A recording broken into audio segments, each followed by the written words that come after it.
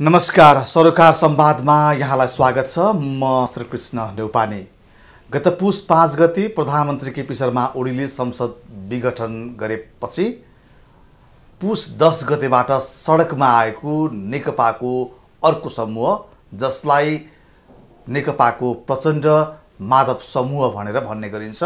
र यो समूह अहिले पनि आन्दोलनरत छ र भर्खरै उसले चौथो चरणको आन्दोलनको घोषणा गरेको छ जुन फागुन पाँच गतेदेखि पन्ध्र गतेसम्म अलिकति सफ्ट कार्यक्रमका रूपमा उसले आफ्ना कार्यक्रमहरू सार्वजनिक गरिरहँदाखेरि सडकमा आएको नेकपालाई धेरैले सोध्ने गर्छन् उसको आन्दोलन किन केका लागि र कसका लागि?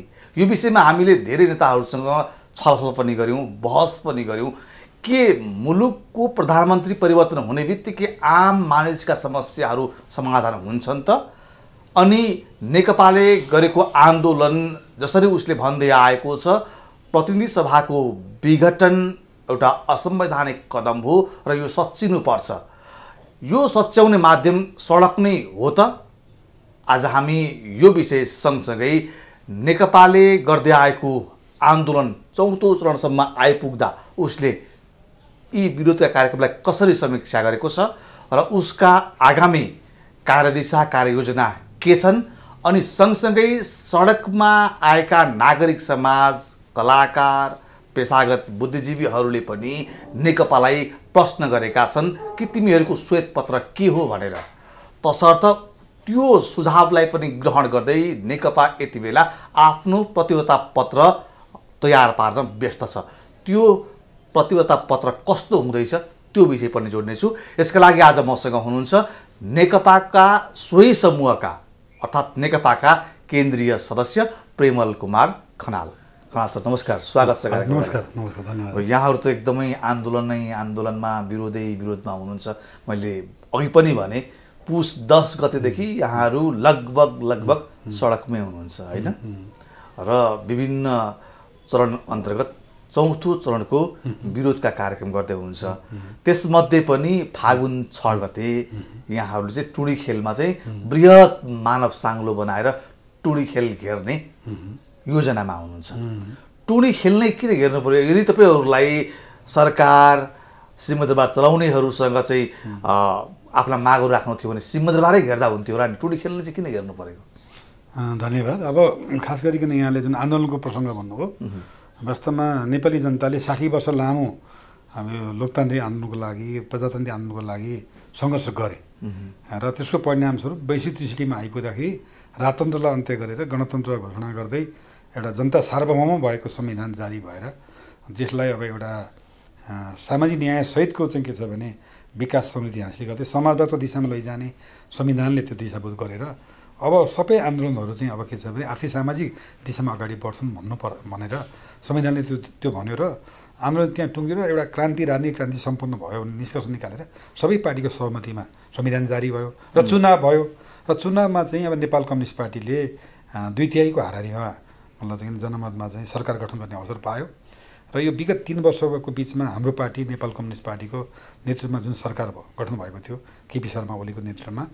तर यो सरकारले वास्तवमा चाहिँ काम गर्ने सन्दर्भमा जनताको आशा अपेक्षा विश्वास अनुसार काम गर्न सकेन।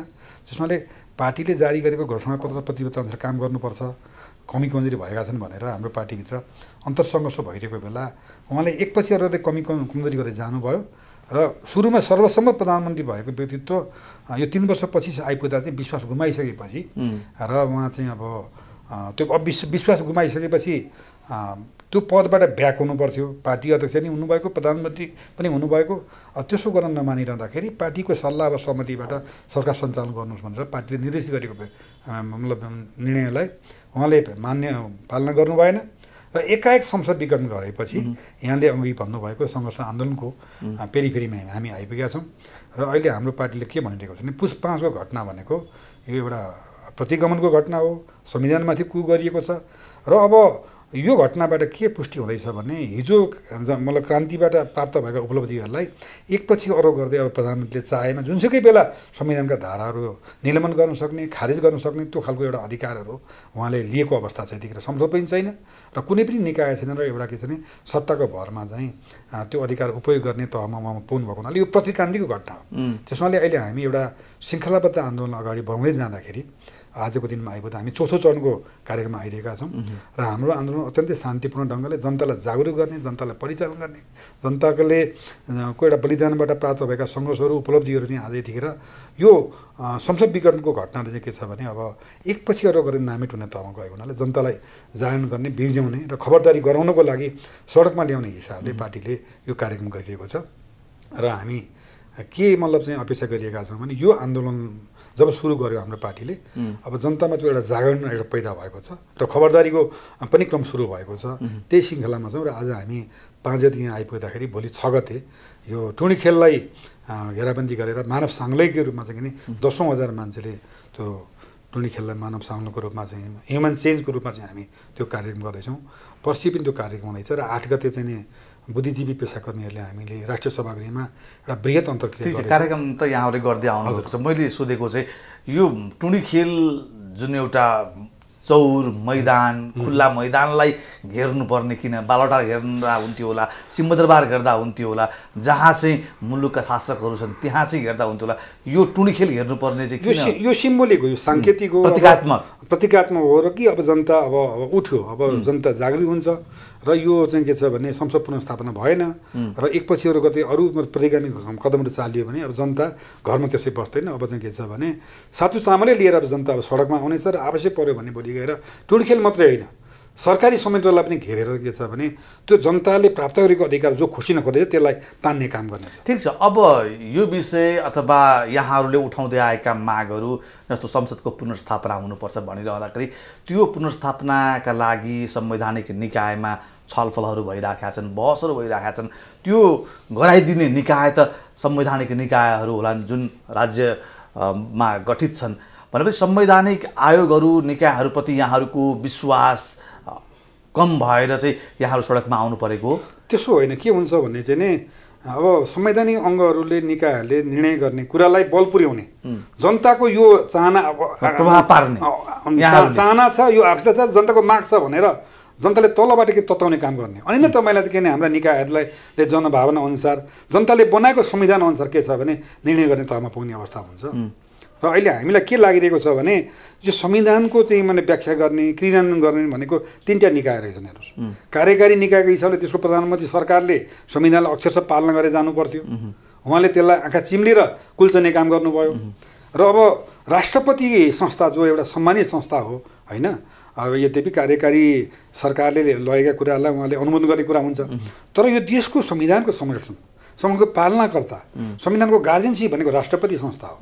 तर राष्ट्रपति संस्थाले पनि के छ भने संविधानमा व्यवस्था नभएको चाहिँ अधिकार प्रयोग गरेर प्रधानले जुन खालको सिफारिस गर्नु त्यसलाई के छ भने छाप लगाउने काम भयो। राष्ट्रपतिबाट पनि संविधानको संरक्षण गर्ने काम भएन। अब एउटै मात्रै आशा के छ त भने मतलब अदालत हो हेर्नुहोस्। अदालतबाट के छ भने त्यो होस् भन्ने जनताले त चाहना गर्छ त माग गर्न पाउँदैन पाउँछ नि त। त्यो डेमोक्रेसीमा चाहिँ के छ भने संविधानको सही व्याख्या होस् ठिक ढङ्गले व्याख्या होस् संसद पुनर्स्थापना होस् भनेर जनताले यो यो गतिविधिहरू भनेको माग हो दबाब होइन? होइन होइन। जनता जनताले के छ भने घरबाट उठेर बाहिर आएर सडकमा आएर हाम्रो रगतले मतलब बनेको यो संविधान हो। संविधान अनुसारको व्याख्या होस् भनेर जनताले के छ भने त्यो भन्न त पाउँछ त। भनेपछि पाँच दशकभन्दा लामो समय कम्युनिस्ट राजनीति गर्नेहरू सर्वहारा वर्गको लागि केही गर्छु भन्नेहरू हिजो चाहिँ दुःख जनताका छाप्राहरूमा बस्नेहरू सत्तामा पुगिसके पछाडि चाहिँ प्रतिक्रान्ति गर्दा रहेछन् कम्युनिस्टको मर्म भुल्दा रहेछन् भन्ने कुरा चाहिँ पुष्टि भयो। होइन यो कम्युनिस्ट पार्टीले होइन कम्युनिस्ट पार्टीभित्र यहाँहरूकै सहयोगदा होइन कम्युनिस्ट पार्टीभित्र त्यस्तो खालको एउटा प्रवृत्ति विकास हुँदो रहेछ। त्यो त पुष्टि भयो। रुसमा पनि त्यही भएको हो नि स्टालिनको मृत्यु पछाडि जसरी त्यहाँ समाजवादी क्रान्ति समाजवादी स्थापना हुँदै अगाडि बढेको थियो खुसेबले जब चाहिँ मतलब चाहिँ कम्युनिस्ट पार्टीको लिडरसिपमा पुगे प्रधानमन्त्री भए मतलब खुसेब त्यसपछि उनले के छ भने हिजोका मूल्य मान्यताहरू लेनिनका चाहिँ मूल्य मान्यताहरूलाई भुल्दै गएर मतलब स्टालिनले स्थापित गरेको मूल्य मान्यतालाई भुल्दै गएर पार्टी सञ्चालनमा विधि पद्धतिलाई भुल्दै गएर एउटा सरबारा वर्गको चाहिँ के छ भने राज्य सत्ता अनुसार समाजवाद स्थापना गर्ने दिशामा जान छोडेर उनले के गरे त भने त्यहाँ पनि संशोधनवाद हाबी गरेर चाहिँ अन्तिममा गएर के छ भने त्यहाँ सोभियतसँग समाजवादै बिगार्न गर्ने काम भयो। संशोधनवाद हाबी भएर गयो। अवसरवाद हाबी भएर गयो। त्यस्तै प्रवृत्ति नेपालको कम्युनिस्टमा। आयो। र त्यो प्रवृत्तिलाई पुनरावृत्ति केपी शर्मा ओलीले गर्नु हो KP Sharma Oli party communist पार्टीको चाहिँ के छ भने अध्यक्ष। कम्युनिस्ट पार्टीको तर्फबाट निर्वाचित प्रधानमन्त्रीले पार्टीको सिद्धान्त आदर्श नीति अनुसार र संविधानको भावना अनुसार त्यो कम्युनिस्ट पार्टीको तर्फबाट गएर त्यो सरकारमा गर्नुपर्ने कामलाई उहाँले बिल्कुल बिर्सिएर तपाईँको के छ भने यही पेरिफेरी यथास्थितिवादकै पेरिफेरीमा र एउटा पुँजीवादकै पेरिफेरीमा दलाल पुँजीवादकै पेरिफेरीमा सरकार सञ्चालन गर्ने काम गर्नुभयो। त्यसले गर्दा आज कम्युनिस्ट पार्टीले अगाडि सारेका मूल्य मान्यताहरू सिद्धान्तहरू नीतिहरू कार्यक्रमहरू आज आज आएर ओझेल परेका छन्। हाम्रो कम्युनिस्ट पार्टीले चुनावमा गएर बाचा गरेको थियो। हामी पाँच वर्षमा चाहिँ जनतालाई चाहिँ के छ भने जीवनस्तर वृद्धि गर्ने काम गर्छौँ। पाँच हजार डलर आम्दानी हुने ढङ्गले के छ भने हामी चाहिँ नि आय वृद्धि गर्ने काम गर्छौँ। आर्थिक वृद्धि चाहिँ के छ भने मतलब चाहिँ के भने दस प्रतिशतको भन्दा माथि वृद्धि गर्ने काम गर्छौँ। र सबै नेपालीलाई चाहिँ सुखद समृद्धिको दिशामा लैजान्छौँ भनेर शिक्षा सर्वसुलभ हुन्छ। हो यी कुराहरू देखेर हो। के प्रश्न गरेका छन् भने कम्युनिस्टहरू ढाँट हुँदा रहेछन् कम्युनिस्टहरू भोटका लागि जे पनि भन्दा रहेछन् र कम्युनिस्टहरू आइपर्यो भने अथवा त्यस्तो समय आयो भने आफै आफै जुधेर आफै सकिने रहेछन्। त्यस्तो किसिमको चाहिँ टिप्पणीहरू हुन थालेका छन्। तसर्थ नेपालमा अब कम्युनिस्टको राजनैतिक भविष्य चाहिँ स्खलित हुँदै गएको अवस्था हो। होइन कम्युनिस्टहरूले अवलम्बन गरिएको नीति कार्यक्रम आफैमा वैज्ञानिक हो। मतलब चाहिँ वैज्ञानिक चेतनाको जगमा समाज वैज्ञानिक समाजवाद स्थापना गर्ने दिशामा जाँदाखेरि जनताको सुख र समृद्धिकै नीति कार्यक्रमलाई कम्युनिस्ट पार्टीले अङ्गल मतलब अवलम्बन गर्दै आएको छ। यहाँलाई म भन्न चाहन्छु एकाउन्न सालमा अँ, अल्पमतकै भयो। नेकपा एमाले जुन सरकार सञ्चालन गरेको थियो मनमोहन अधिकारी मतलब लिडरसिपमा भएको थियो त्यो सरकारले नौ महिनाको छोटै अवधिमा हरेक नेपालीको चाहिँ के छ भने वञ्चित काम गरेको थियो नि। अहिलेसम्म त्यसको ब्याज होइन त्यो थियो नि त। तर अहिले दुई तिहाईको मतलब जनमतका साथ अहिले हाम्रो पार्टी सरकारमा पुग्दा केपी शर्मा ओलीले त्यो जनताको मन जित्ने हिसाबले काम गर्न सक्नु भएन। उहाँले के गर्नुभयो त भने चाहिँ नि रेलका कुरा गर्नुभयो होइन पानी जहाजका कुरा गर्नुभयो अनि आफै उडन्ते, एकदम आफै उडन्ते। निर्माण क्षेत्रमा चाहिँ अरबौँ अरब खर्च गरेर भ्यू टावर चाहिँ तपाईँको चाहिँ निर्माण गरेर त्यो जरुरी थियो। भनेपछि यसरी के छ भने उहाँले के छ भने जनताको सुख र के छ दुःखलाई हेरेर अथवा जनताले के समस्या भएका छन् त्यता सम्बोधन गर्ने गरी सरकार नीति कार्यक्रम लिएर जानु भएन दलाल पुँजीवादलाई प्रशय गर्ने काम गर्नुभयो। हामीले चर्चा गर्दै आइरहेका छौँ कि यो देशमा अथाह अथाह तपाईँको जलस्रोतको मतलब व्यवस्था छ। हामी जलविद्युत उत्पादन गरेर हरेक घर घरसम्म चाहिँ के छ भने बिजुली पुर्याउन सक्छौँ होइन? र चाहिँ के छ भने उब्रिएको मतलब बिजुलीले हामी यो मोटरहरू या त सवारी साधनहरू बिजुलीबाटै चल्ने हामी सञ्चालन गर्छौँ भनेर हामीले कमिटमेन्ट गरेका थियौँ। तर उहाँको पालामा के भयो त गत वर्ष भनेदेखि बिजुलीबाट चल्ने मोटरहरू चाहिँ अब महँगो हुन्छ भनेर चाहिँ के छ भने अब बिजुलीबाट चल्ने यातायातहरू चाहिँ के भने मतलब चाहिँ महँगो पारिदिनु भयो। यसको मतलब के देखिन्छ त भने कि त्यहाँभित्र पनि कमिसन दलाल पुँजीवादको चाहिँ एउटा प्रश्न दिने कामहरू गर्नुभएको छ होइन?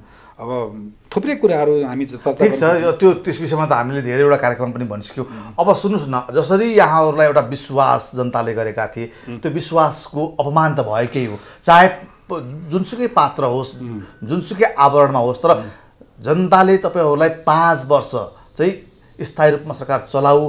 हामी अस्थिर राजनीतिबाट दिक्क भयौँ। स्थिर राजनीति आयो भने मुलुकको विकास होला हाम्रो पनि जीवनशैलीमा केही परिवर्तन आउला भन्ने जुन किसिमको अपेक्षा जनताको ठुलो थिएन अपेक्षा स्थिर सरकार र सुशासन र विकास। यति नै जनताले चाहेका होइन? त्यो विश्वासमा जुन आघात पुगेको छ त्यो आघातको मूल्य कसरी चुकाउनुहुन्छ? त्यसमा त हामीले के गर्यौँ भने पाँच वर्ष पदावधिभरि नै के छ भने उहाँले काम गर्ने भनेर? पार्टीले उहाँलाई त्यो मोर्चामा पठाएको। तर यो तिन वर्षको कार्यकालमा आइपुग्दा चाहिँ के छ भने पार्टीका नीति आदर्श अनुसार यहाँले भने जनताको चाहिँ अपेक्षा अनुसार काम हुन सकेन। त्यसपछि करेक्सन गर्नुपर्छ। सरकारको कार्यशैलीमा सु करेक्सन गर्नुपर्छ। सरकारले अमल गर्ने नीति र कार्यक्रममा चाहिँ सुधार गर्नुपर्छ र जनताको मालाई जे खालको हामीले प्रतिबद्धता व्यक्त गरेका थियौँ त्यो अनुसार काम गर्नुपर्छ भन्दा उहाँले मान्नु भएन। आफ्नो ढङ्गले सरकार सञ्चालन गर्नुपर्छ। म मैले भने जस्तो मात्रै हुनुपर्छ भनेर उहाँले जुन ढङ्गले मतलब पार्टीभित्र त्यो कुरा भन्नुभयो त्यसपछि हाम्रो पार्टीभित्र समस्या आयो। समस्या आएपछि नि उहाँलाई आलोचना गरियो। आलोचना गरेपछि उहाँ चाहिँ के भाग्दै भाग्दै गएर संसद विघटन गर्ने घटना गर्नुभयो। यसको मतलब के देखियो भने अब कम्युनिस्ट पार्टीलाई चाहिँ तपाईँ कहिले पनि तपाईँको चाहिँ के छ भने सत्तामा पुग्न नदिने। दुई तिहाईको जुन जनमत आएको थियो पार्टी विभाजन गरिदिएपछि कम्युनिस्टको नामबाट अब दुई तिहाई नआउन सक्छ। त्यसो हुनाले उहाँ चाहिँ के देखिन्छ भने चाहिँ नि यो कम्युनिस्ट आन्दोलनलाई नै के छ भने अगाडि बढ्न नदिने। कम्युनिस्टको खोल उड्ने कम्युनिस्टको आफू नेता पनि हुने तर कम्युनिस्ट आन्दोलनलाई अगाडि बढ्न पनि नदिने खालको। उहाँ कतैबाट परिचालित हुनुभयो? निश्चित रूपमा। मलाई किनभने कि उहाँ जानेर होस् वा नजानेर होस् के छ भने यो कम्युनिस्ट आन्दोलनलाई धाराशय बनाउन उहाँले यो अब यो कदमबाट चाहिँ उहाँको त्यो भूमिका रहन्छ र इतिहासमा उहाँको नाम कलङ्कको रूपमा रहनेछ। अब हुन त यहाँहरू पक्ष जो सडकमा हुनुहुन्छ अहिले तपाईँहरूले सरकारले कामै गरेन सरकार चाहिँ दलाल पुँजीवातीहरूको मात्रै छत्रछायामा रह्यो जनताका दुःख समस्याहरू सुन्नै चाहेन जनतासँग भेट्नै चाहेन त्यस्तै व्यापारी घरानासँग मात्रै उसको उठबस रह्यो भनिरहँदाखेरि भर्खरै हिजो अस्तिको दिन प्रधानमन्त्रीले आफ्नो तिन वर्षे कार्यकालको समीक्षा अझ भनौँ कार्य प्रगति नै सुनाउनु भयो सिंहदरबार पुगेर। धेरै समय पछाडि धेरै महिना पछाडि उहाँ सिंहदरबार पुग्नु भएको थियो। सुन्नुभयो होला यहाँले पनि। काम त धेरै गरेको रहेछ सरकारले। होइन यसो छ। यो हाम्रो कम्युनिस्ट पार्टी भने श्रमजीवी वर्गको जनताको प्रतिनिधित्व गर्ने अभिभावकत्व प्रदान गर्ने मतलब पार्टी भएको कारणले सरकारमा गएपछि आज यो मुलुकमा त मैले मतलब साठी पर्सेन्टभन्दा बढी मान्छेहरू गरिब र बेरोजगारीमा बसिरहेका छन्। ती गरिब र बेरोजगारी जनतालाई सोधौँ नि त। सरकारबाट के राहत र अनुभूति परिनु भयो? यही तपाईँको चाहिँ के अरे कोभिडको मतलब चाहिँ महामारीको कारणले गर्दा चाहिँ लाखौँ लाख श्रमिकहरू चाहिँ बेघरबार के अरे मतलब त्यो रोजगारीबाट विमुख हुनु पऱ्यो पचासौँ लाख मान्छेहरू तपाईँको चाहिँ श्रमिकहरू विदेशमा छटपटिएर बसिरहेको अवस्था छ। यो सरकारबाट के राहत र अनुभूति भयो? आज गरिबी बढ्दै गएको छ बेरोजगारी बढ्दै गइरहेको छ यो हाम्रो सरकारको कार्यकालमा चाहिँ कति मतलब चाहिँ गरिबी घट्यो कति बेरोजगारी घट्यो र मान्छेको कति जीवन स्तर वृद्धि भयो भनेर हेरौँ न। महँगी कति घट्यो? उहाँले त। कोही भोकै बसेका छैनन् कोही सडकमा सुतेका छैनन्। कसैलाई दुःखै परेको छैन जहाँ दुःख पर्यो सरकारलाई सम्झिने बित्तिकै सरकार ती पुग्छ भनेर त त्यो बरोबर भन्दै आउनु त्यसो भनेर भन्छ र मतलब हामीले के छ भने जनताको गरिबी र बेरोजगारीमा हामीले सरकारको कामको मापन गर्नुपर्छ। जनताको सन्तुष्टिमा सरकारको चाहिँ पर्फर्मेन्स मतलब मापन गर्नुपर्छ। शिक्षामा तपाईँको चाहिँ यो व्यापारीकरण निजीकरण घट्यो कि घटेन? तपाईँ हामी बिमारी पऱ्यो भने उपचार गर्न जाँदाखेरि त्यहाँ सरकारी अस्पतालहरूमा सर्वसुलभ सेवा पाउँछौँ कि पाउँदैनौँ? होइन? तपाईँको बजारमा चाहिँ महँगी मतलब चाहिँ घटेको छ कि छैन? सुशासन कायम भएको छ कि छैन? होइन? मान्छेले रोजगारी पाएको छ कि छैन? हाम्रा चाहिँ मतलब वृद्धहरू चाहिँ मतलब चाहिँ बुबा आमाको चाहिँ दिल खुसी हुने गरी मतलब वृद्धहरूको चाहिँ सम्मान गर्ने काम हामीले राज्यबाट ल्यायौँ कि ल्याएनौँ? होइन? फ्री अफ कस्ट हामीले उहाँहरूलाई उपचारको व्यवस्था गर्न सक्यौँ सकेनौँ? यिनै कुरा हुने हेर्नुहोस् मतलब हाम्रो समाजवादी नीतिहरू कार्यक्रमहरूको बारेमा। तर यो सरकारबाट त्यो त्यो त्यो कुरा त हुन सकेको छैन। अब रेलका कुरा भाटाका कुरा त हेर्नुहोस् त्यो त त्यो त के अर्थ रहन्छ त्यसो हो भने दुई हजार छयालिस पछाडि भिन्नै तरिकाले नेपालको राजनीति अगाडि बढ्यो होइन? बहुदलीय प्रजातन्त्रको नाममा त्यस पछाडि आएर तपाईँको चाहिँ बिचमा अलिकति डिस्टर्ब भयो। त्यस पछाडि हामी सङ्घीय लोकतान्त्रिक गणतन्त्रसम्म आइपुग्यौँ। अब अहिलेको पुस्ताले दुई हजार छयालिस साल पछाडिका नेताहरूलाई नजिकबाट देखेको छ भोट हालेको छ। अब यो झन्डै तिन दशकको यो अवधिमा जनताको अवस्था जस्ताको तस्तै छ तर मूलधारमा देखिएका नेताहरू जो पटक पटक मन्त्री भए पटक पटक राजकीय शक्तिमा पुग्नुभयो उहाँहरूको जीवनशैली हेर्ने हो भने हिजो के कस्तो थियो आज कस्तो छ। तसर्थ यी परिवर्तनहरूले यी संविधानहरूले लेखिएका कुराहरूले त नेताहरू एउटा मुठीभरका केही समूह बाहेक कसलाई फाइदा गर्यो? तिन दशकलाई मात्रै तपाईँ फर्केर हेर्नुहोस् त। अनि अहिले आएर फेरि नेकपाको तपाईँहरूको समूहलाई सडकमा आएर जनताले किन सघाइदिनु पर्ने अनि तपाईँहरूको पछाडि किन झन्डा बोक्नुपर्ने? जनता सधैँ जनताको अवस्थालाई विश्लेषण गर्दा चाहिँ तपाईँहरूको कहीँ कतै अलिकति मन मुटु दुख्छ कि दुख्दैन? त्यसो हुनाले त हामीले के भन्यौँ भनेदेखि हाम्रो पार्टी सञ्चालनमा समस्या देखा परिरहेको छ। सरकार सञ्चालनमा मतलब समस्या देखा परेको छ। जे जसरी पनि मतलब के चाहिँ सांसद भइहाल्ने। जसरी पनि मतलब मन्त्री भइहाल्ने। अनि तपाईँको चाहिँ के छ भने पैसा कमाइहाल्ने अनियमितता हुने। र यहाँले भन्नुहोस् न के छ भने आफू मात्रै चाहिँ मतलब सुकिलो हुने। हुनाले यो यो तिस वर्षकै कुराकानी गर्ने हो भने पनि व्यक्ति मोटाउने राज्य र जनता कमजोर कमजोर बन्ने त्यो खालको एउटा परिपाटी छ त्यसलाई हामी तोड्न चाहन्छौँ। तोड्नुपर्छ त्यही अपेक्षा गरेका थिए जनताले। जनता त्यो गरेका हुनाले बहुदल कालभन्दा हिजो पञ्चायत कालभन्दा यो कम्युनिस्ट पार्टीको सरकारबाट त नवीनतम ढङ्गले राज्य सञ्चालन हुनु पर्थ्यो नि त। के कुरामा हामीले परिवर्तन पायौँ त? यो सरकार आइसकेपछि हाम्रो पार्टीको सरकार आएपछि केपी ओली मको मतलब प्रधानमन्त्रीमा चाहिँ सरकार सञ्चालन भएपछि के के कुरा परिवर्तन भयो होला त? देखिने राजसी शैलीमै सरकार सञ्चालन भइरहेको छ। होइन तपाईँको चाहिँ के छ भने चाहिँ भ्रष्टाचार बढिरहेको छ अनियमितता बढिरहेको छ अनि सञ्चालन गरेका विकास परियोजनाहरू बालुवामा पानी हाले जस्तो भइरहेको छ कहिले पनि त्यो विकासहरू चाहिँ पुरा नहुने अनि तपाईँको चाहिँ छ महिनामा चाहिँ बाटो बनाए चाहिँ पिच भत्किने त्यो अवस्थामा छ हेर्नुहोस् होइन? र मान्छेको जीवन स्तर बढ्न सकेको छैन। भनेपछि सकेपछि के छ भने हिजो भने तात्विक परिवर्तन भएन भन्ने अर्थमा चाहिँ जनताले त्यो खालको चाहिँ अनुभूति गर्न स्वाभाविक छ त्यो जनताले अनुभूति गरेको कुरालाई सम्बोधन गर्ने गरी हाम्रो पार्टीले के छ भने सरकार सञ्चालन गर्नुपर्छ सरकारले नीति कार्यक्रम ल्याउनुपर्छ नै भनेर हामीले पार्टीभित्र त्यो कुरा माग गरिरहँदाखेरि त्यो कुरा उहाँलाई पाच्य भएन। भनेपछि केपी ओलीको ठाउँमा अरू कोही व्यक्ति अर्थात् माधव कुमार नेपाल या प्रचण्ड भइदिएको थियो भने चाहिँ यी तमाम समस्याहरू समाधान हुन्थे? त्यसो त यसो छ। हामीले केपी ओली कमरेडले चाहिँ पार्टीभित्र नीतिबाट पद्धतिबाट काम गर्नुपर्छ सरकार सञ्चालन गर्नुपर्छ भन्ने कुरालाई उहाँले अस्वीकार गर्नुभएको थियो। त्यसपछिको अलावा जो अरू अरू लिडरसिपमा आउँछ उसले त यो नीतिबाट पद्धतिबाट र एउटा जनताकोलाई सम्बोधन गर्ने नीति कार्यक्रमका आधारमा पार्टीभित्र पनि त्यो कुरा नीति कार्यक्रम सञ्चालन तय गर्ने र सरकारमा त्यो कुरा लिएर गरेर लागू गर्ने हुँदा तातिर पनि त फरक त पर्थ्यो त। तर उहाँहरूलाई पनि त जनताले त देखिसकेका हुन्। दुवै व्यक्तित्व त प्रधानमन्त्री भइसकेका व्यक्तित्व होइन व्यक्ति त यसो नि अब यसो व्यक्ति त माधव नेपाललाई पसन्द होइन। अर्को अर्को पनि मतलब चाहिँ के भने व्यक्ति नै गरेर लिन्छ किनभने नेकपाले पाएको बहुमत चाहिँ बहुमतलाई हाम्रो पार्टीले कसको नाममा चाहिँ मतलब चाहिँ मतलब प्रधानमन्त्रीमा पठाउँछ भन्ने कुरा त त्यो भोलिको कुरा होला अथवा त्यो कुरा हुन्थ्यो। तर सवाल के हो त भन्दाखेरि चाहिँ नि व्यक्ति परिवर्तन हुँदैमा म चाहिँ के छ भने हुने कुरा मुख्य कुरो नीति कार्यक्रमलाई चाहिँ लागू गर्ने प्रतिबद्धता हुन्छ कि हुँदैन भन्ने खालको कुराहरू हो। त्यसो हुनाले हामीले के भनिरहेका थियौँ पार्टीभित्र भनेदेखि अहिलेका कार्यशैलीहरूमा सुधार गर्नुपर्छ है। नभए हाम्रो पार्टीको इमेज कमजोर हुन्छ। जनताले अविश्वास गर्छन् भनेर यो कुरा उठाइरहँदाखेरि त्यो कुरा उहाँलाई पाच्य भएन। पाच्य नभएपछि उहाँले संसद विघटन गर्न पुग्नु भयो। ठिक छ त्यसो हो भने अब यहाँहरू त आन्दोलनमै हुनुहुन्छ। अब भोलि सर्वोच्चले के गर्ला पुनर्स्थापना गर्यो भने त्यही अनुसारले राजनीति अगाडि बढ्ला। यदि प्रधानमन्त्रीको कदमलाई उसले सदर गरिदियो भने चुनावमा जानु पर्ला। त्योदेखि बाहेकको विकल्प त देखिँदैन। कि त्यो त्यो विकल्प अथवा सर्वोच्चको फैसलालाई पनि क्रस गरेर जाने मुडमा हुन्छ यहाँहरू। होइन सर्वोच्चको फैसला क्रस गर्ने वा नगर्ने भन्ने खालको कुरा होइन। मुख्य कुरो अहिले के हो भने चालिएका कदम असंवैधानिक छन्। जे जति गतिविधिहरू अहिले भइरहेका छन् होइन? ती गतिविधिहरूलाई सच्याउने सुधार गर्ने अघि पनि हामीले भन्यौँ कि हाम्रो अब अन्तिम गार्जियनसिप भनेको त के छ भने अदालत हो हेर्नुहोस्। ठिक छ। उस- उसले आफ्नो फैसला गर्दैछ। हामी आशा विश्वास छ संविधान अनुसारले गर्नुपर्छ नेपाली जनताले रगतको खोलो बगाएर ल्याएको बनाएको संविधानमा कुनै पनि प्रधानमन्त्रीलाई आफूलाई चाहेको बेला संसद विघटन गर्ने अधिकार छैन। प्रष्ट कुरा हो। र कुनै पनि निर्वाचित प्रधानमन्त्री संसदमा नगइ नगइकन बाहिर बाहिर भाग्न पाउँदैन। संसदमा उभिएर आफूलाई खडा भएर मैले विश्वासको मत प्राप्त गरौँ भनेर गरिपाउँ भनेर संसद समक्ष भन्नुपर्छ। विश्वासको मत प्राप्त गरे इट्स ओके। उसले कन्टिन्यू सरकार सञ्चालन गर्छ। अविश्वास भयो भने अर्को मतलब के छ भने व्यक्तिले सरकार सञ्चालन गर्ने त्यो संविधानमा लेखिएको छ। त्यति कुरा संसदले मतलब के अरे मतलब सर्वोच्चले व्याख्या गर्ने काम गर्नुपर्ने हुन्छ। तपाईँहरू आफ्नै पार्टीको पनि प्रतिपक्षभन्दा पनि कडा निस्कनु भयो बरु प्रतिपक्षले टलरेट गरिराखेका थियो नेपाली कङ्ग्रेसले। तर तपाईँहरूको यो जुन मुभमेन्ट्स गतिविधिहरू ठाउँ ठाउँमा गरिने तपाईँहरूका गुटगत भेला यी तमाम कारणले चाहिँ प्रधानमन्त्रीलाई त्यसतर्फ उन्मुख हुन प्रेरित गर्यो भनेर राजनीतिक विश्लेषण गरिन्छ।